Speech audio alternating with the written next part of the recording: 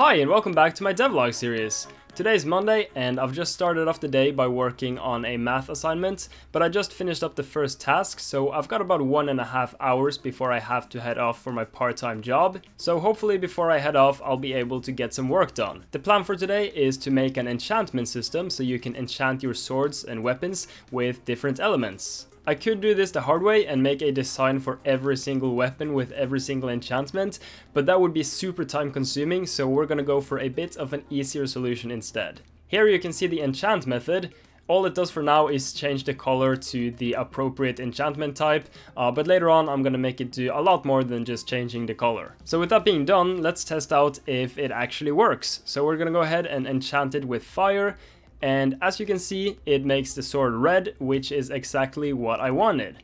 And it also seems to work fine with ice and lightning, and we can essentially enchant any weapon that we want to. But now I have to head off to work, and I will continue tomorrow.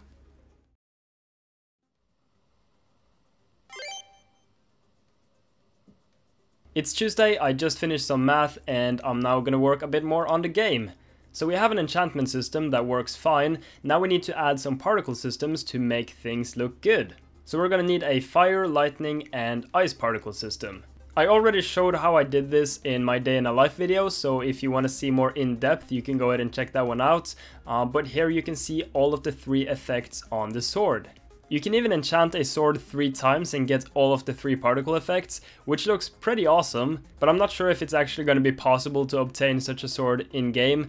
I, I might do it or maybe not, I don't really know. But now we need to work on some impact effects, because currently it looks a bit lame when you hit someone with a mighty fire sword and nothing happens. So we're gonna make some impacts. Now first off I made a fire, then I made some ice, and also a lightning impact. These effects will spawn whenever you hit someone with an enchanted sword, which gives off a more enchanted feeling, I guess. Anyway, that's gonna be it for today. I'm gonna go hit the sack now because I've got work early tomorrow and then I've still got to work on my math assignment, so I probably won't have too much time to work on off the sticks tomorrow.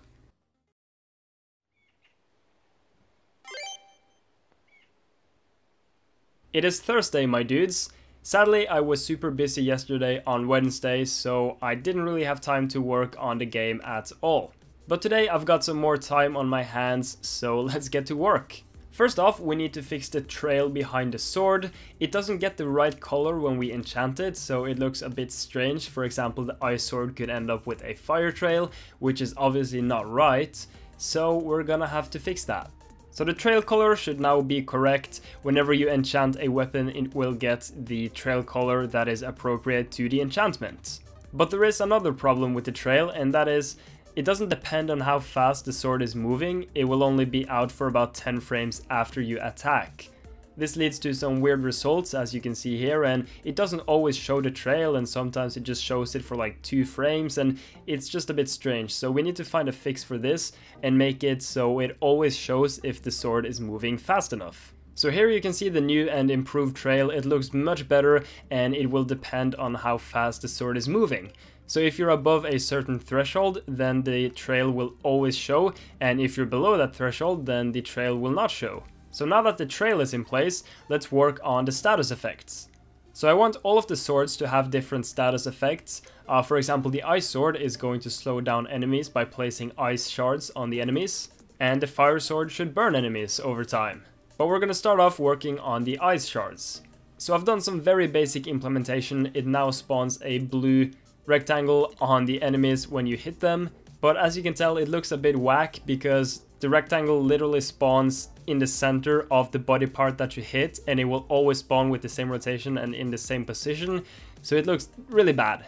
So now I've made it so the ice shards will spawn with a random rotation and also a bit of a random position. It will still spawn on the body part that you hit, but it will spawn a bit off, maybe a bit up, a bit down, or to the sides.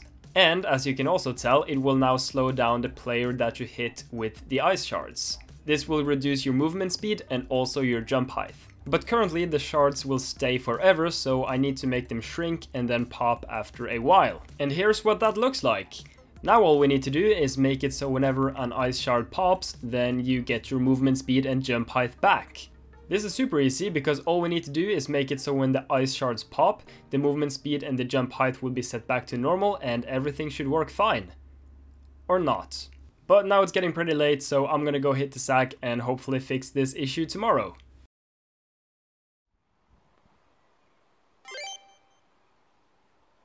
It's Friday and we're gonna continue off working on the status effects. So the problem yesterday was that once the ice popped, things just started getting weird, but I have fixed that now and once the ice shards pop, then you are back to normal. I should also probably make some actual ice shards instead of using turquoise rectangles, um, but it will make do for now. I've also worked a bit on the fire effect. Basically, it's just like a small flame that will burn out and eventually explode, just like the ice shards but they don't deal continuous damage yet, so I need to implement some sort of damage system so that there is a point to setting people on fire.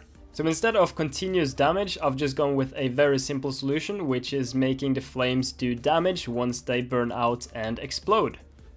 The flames don't deal too much damage, but it's definitely enough to kill someone if they're on low HP. The only effect we need to make now is the lightning effect. I've had a lot of feedback about how to implement it and I think the most common one is to have the lightning strike nearby enemies so it kind of jumps from the first enemy you hit to other enemies in nearby proximity. First off, I just worked on making the lightning actually bounce between players. This wasn't too hard to do, you just have to kind of check who the previous player was and then just jump to the nearest other enemy. Then I tried to actually implement it with the sword and I, I think something went wrong, I think. But after a while I got it working and now it will travel between players whenever you hit someone with the lightning sword. It doesn't deal damage yet though, so that is something we're gonna have to fix and also we have to make it go away after hitting like 3 or 4 enemies. And here is the final result. Whenever you hit someone with the lightning sword now, there will come a lightning shock out of it, traveling to nearby enemies and dealing damage to them. For every jump, it will deal less damage and it'll go away after 3 to 4 jumps. I've also quickly made it so that the status effects will only have a 40% chance of spawning, so that you can't just abuse the lightning or the ice or the fire. But that's gonna be it for today, I'm gonna go hit the sack and I'll continue tomorrow.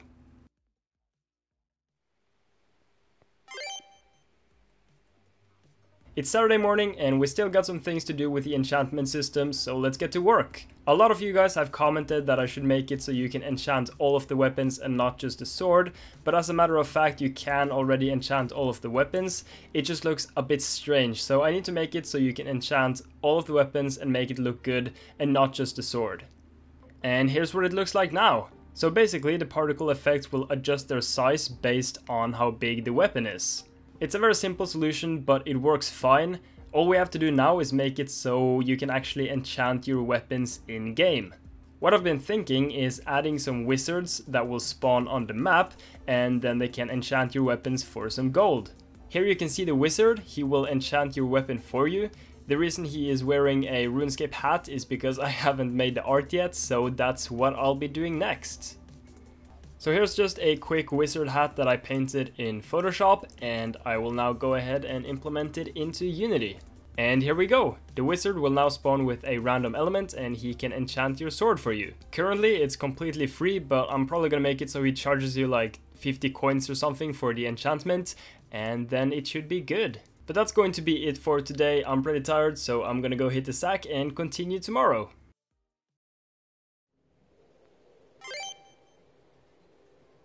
It's finally Sunday and I will be spending most of the day editing together this video and then just chilling out a bit.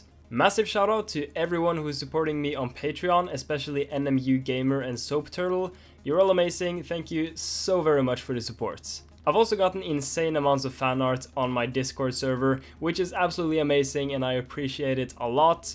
And if you didn't see your fan art in this video, it's probably because there's so much fan art I can't fit it all in one video. But I'm doing my best to include everyone and I'm saving all of the fan art, so I do have all of it, but it's just hard to fit it all in one video because there's so much of it. Also want to mention that I will be super busy in the coming weeks, mainly because I have my exams coming up and I just have a lot of assignments and schoolwork to do. So hopefully I'll be able to put out one video every week, um, but I might not be able to, so if you don't see a video one week, that's probably why. I might also join Ludum Dare 44, which is coming up this next weekend, uh, which is basically where you create a game in 48 hours, which I think would be very fun to participate in, so I'll be trying for that and hopefully um, I'll have something to show. But I think that's going to wrap it up, so I want to thank you very much for watching this video.